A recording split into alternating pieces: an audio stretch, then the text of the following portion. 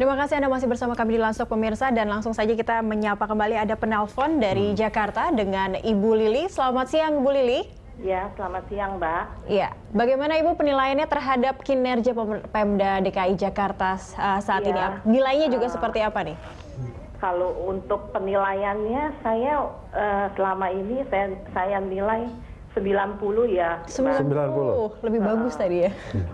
Hmm. Dari kenapa bisa menilai 90 apa yang mungkin sudah Ibu rasakan Ibu? secara hmm. langsung sebagai warga Jakarta? Banyak sekali Mbak. Saya hmm. jadi melihat seperti Jakarta itu uh, saya tidak uh, tidak melihat seperti nggak usah jauh seperti Singapura ya, tapi saya melihat jauh ada perubahan di mana-mana hmm. seperti itu. Hmm. Baik. Ya. Itu aja yang ingin disampaikan Ibu. Kalau saya jalan ke mana itu udah udah mulai rapi, kali-kali ya. sudah mulai rapi seperti okay. itu. Oh, Oke. Okay. Baik. Baik. Itu aja Ibu yang ingin disampaikan? Ya, saya Baik. berharap untuk ke depannya nanti ya gubernur yang terpilih ini dapat meneruskan pekerjaan Pak Ahok hmm. yang saya nilai sudah 90 dan untuk janji-janjinya seperti di kampanye itu semoga bukan hanya janji-janji Bu. Oke. Okay. Ya. Baik. Nanti Ibu Lili juga yang mengamati, yang mengawasi kinerja Betul. pemerintahan ke depan Bu.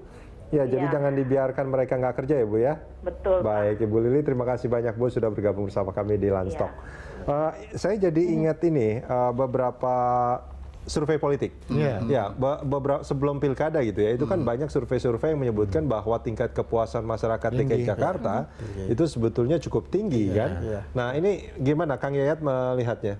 Kan begini, bahwa kepuasan itu tidak hmm. selalu simetris dengan pilihan, ya. ya kan? Karena dalam konteks masyarakat kan selalu ada yang mengatakan yang rasional, hmm. yang psikologis dan sosiologis. Hmm. Memang harus diingat akar budaya itu menjadi penting. Hmm. Jadi memang uh, persoalannya hanya pada teknik komunikasi saja. Hmm. Jadi performance seseorang yang baik kalau dikomunikasikan dengan cara yang lebih baik itu akan membuat tingkat puasan masyarakat akan hmm. lebih bagus karena okay. persoalannya kan kita bukan hanya membangun fisik kota hmm. tetapi membangun uh, orangnya. Hmm. Nah, jadi kota ini sebetulnya kita yang membangun Jakarta ini sebetulnya belum menjadi kota, baru mengkota. Hmm. Pura-puranya kita jadi orang kota lah kan. Artinya hmm. dalam konteks kultur berkota itu dibangun oleh sistem yang memang bisa mendorong terjadinya perubahan di iya. dalam ya. kehidupan masyarakat. Artinya, artinya boleh nggak kalau saya simpulkan ada sense of belonging artinya? Iya betul. Itu intinya. Ya, jadi betul kan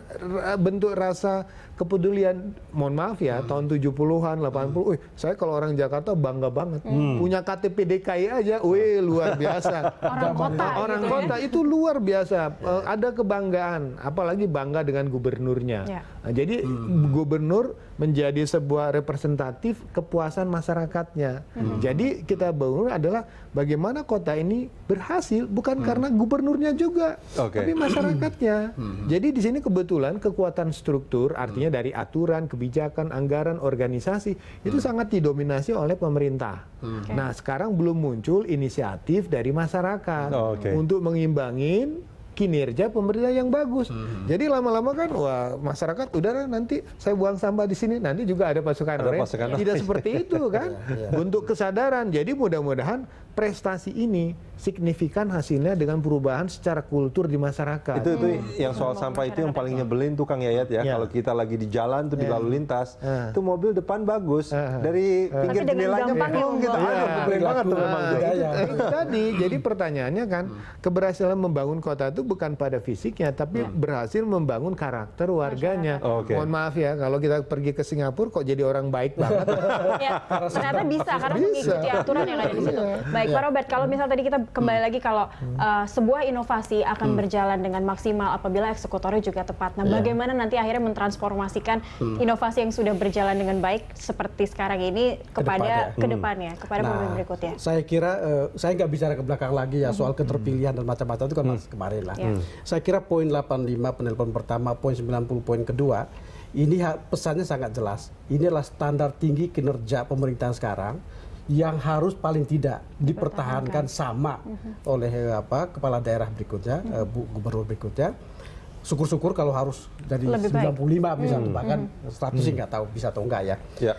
Nah sekarang masa masa transisi kepemimpinan, transisi pemerintahan gitu ya. Saya kira berbagai inovasi yang ada harus dipastikan masuk dalam RPJMD yang sedang disusun. Gitu. Eh, memang eh, soal inovasi itu sering kali juga terkait dengan apa yang eh, apa menjadi karakter seorang pemimpin. Kalau dia sendiri nggak berani untuk melakukan terobosan, ya nggak akan pernah ada inovasi. Oke. Kita nggak tahu apakah Anies akan seperti itu. Baik. Tapi kemudian kedua saya kira adalah eh, masa transisi enam bulan ke depan harus dilihat sebagai masa Anies untuk tidak terlalu lompat ke berbagai isu-isu panas dulu lah. Buat saya itu itu nanti ya. Ya. Ada manajemen waktu yang harus dia jaga. Sekarang bagaimana untuk membuat semua ini ini masuk dalam kerangka kerangka perencanaan, kerangka Oke. APBD dan sebagainya.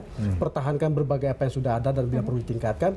Baru kemudian masuk ke isu-isu apakah Alexis ditutup. itu itu kontroversi yang Oke. berpanjangan yang Oke. mungkin tidak Yang paling penting itu kalau saya berharap gini, kita lihat di balai kota itu banyak rangkaian bunga sekarang Iya. ada di sana. Itu kan berarti pujian dari masyarakat Iya, secara langsung. iya, iya. Tapi saya juga berharap bukan berhenti di situ. Di enam bulan ke depan, ketika peralihan itu emang betul-betul prestasinya uh, ada. Dan saya berharap lima tahun ke depan itu juga akan ada rangkaian bunga yang akan diberikan oleh para gubernur. Kita- Dan kita ini terjadi itu. bukan hanya di Iya, Jakarta, iya, iya. tapi Jadi- di seluruh provinsi di Indonesia. Jadi gini, apa yang kita obrolkan hari ini, apa penghargaan yang diberikan, itu sinyal bahwa warga Jakarta punya selera tinggi. Oh, oke, baik. Nah, mohon maaf ya, nggak level. Nah, itu bahasa itu Iya. menjadi standar. Oke. Ketika dia mengalami turun, dia akan kembali ke setback ke masa lalu. Iya, Kok makin lama makin buruk? Nah, itu menjadi sebuah catatan bagi siapa pun gubernur ke depan bahwa level kepuasan masyarakat sudah level berubah, ya. sudah makin tinggi. Benar-benar Baik, mau Kak. jadi orang Oh kota. iya, Baik.